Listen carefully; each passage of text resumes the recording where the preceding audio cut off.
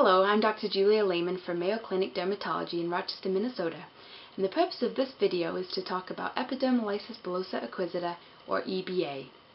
First I'd like to talk about the clinical findings of this condition, and then how laboratory testing can help confirm the diagnosis, and finally then touch on treatment options. The clinical findings of EBA include the development of tense blisters on the dorsal forearms and hands that heal with milia and scarring.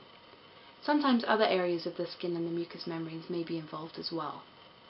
This clinical presentation may mimic that of Porphyria cutanea tarda, bullous pemphigoid or other pemphigoid variants, linear IgA bullous dermatosis, or bullous systemic lupus erythematosus. Because there is no pathognomonic skin finding in epidermolysis bullosa acquisita, additional testing is necessary in order to confirm the diagnosis. The first of such tests would be a standard skin biopsy of lesional tissue, and this would be sent for hematoxylin and eosin staining. Microscopically, one would expect to see a pauci-inflammatory subepidermal blister which may have neutrophils and may have a variable number of eosinophils. Neutrophil-rich variants of bullous pemphigoid may mimic these histologic findings, as well as bullous systemic lupus erythematosus. The next test would be direct immunofluorescence, which is where the patient's skin, ideally a perilesional biopsy, is incubated with tagged immunoglobulin. And with EBA, one would expect to see linear deposition of IgG and sometimes C3. Linear IgG and C3 deposition along the basement membrane can also be seen in pemphigoid as well as bullous systemic lupus erythematosus. The next test would be indirect immunofluorescence with salt split skin. For this test, normal human skin is incubated with 1 mole of sodium chloride, which induces an artifactual split at the lamina lucida. Then the patient's serum is tagged and incubated with the salt split skin.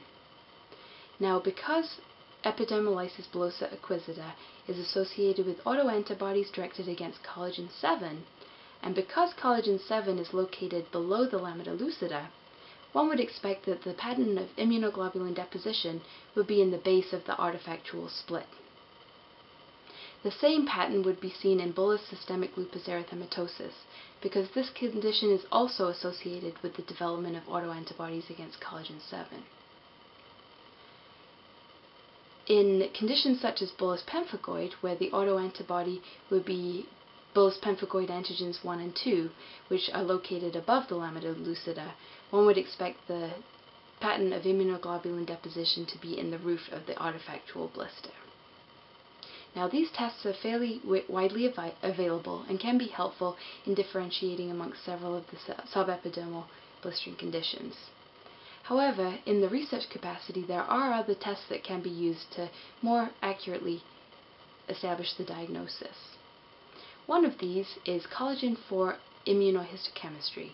And in this test, the patient's lesional skin is stained with collagen 4 immunohistochemical stains, and this helps to identify the lamina densa. In EBA, we would expect that the patient's blister would be below the staining of collagen 4, as collagen 4, the lamina densa, is above uh, the collagen 7 in the skin. Other testing that could be pursued would be fluorescent overlay mapping and laser scanning confocal microscopy, electron microscopy, and ELISA, which can establish the presence of collagen 7 autoantibodies. Once EBA has been diagnosed, the clinician is faced with the challenge of treating this often chronic and refractory condition. While topical steroids may be helpful in limited or mild disease, often uh, corticosteroids systemic or uh, immunosuppressive, other immunosuppressive medications may be required in order to achieve disease control. Some experts have said that colchicine is particularly helpful as a first-line therapy in mild EBA, whereas intravenous immunoglobulin may be used for more severe cases. I hope this brief discussion of epidermolysis bullosa acquisita has been helpful, and if you would like more information, I would refer you to the March 2009 edition of the International Journal of Dermatology, where you'll find a review on EBA. Thank you very much for your time and attention.